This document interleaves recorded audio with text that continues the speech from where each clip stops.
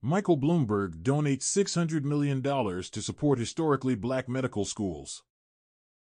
Michael Bloomberg's organization, Bloomberg Philanthropies, announced a $600 million donation to four historically black medical schools. This was revealed at the National Medical Association's convention in New York.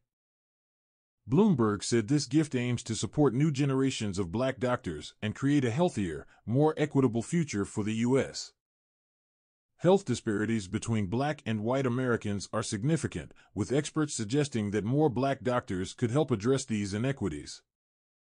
In 2022, only 6% of U.S. doctors were black, while black Americans make up 13% of the population.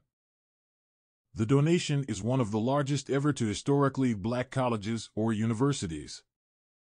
Howard University College of Medicine, Meharry Medical College, and Morehouse School of Medicine will each receive $175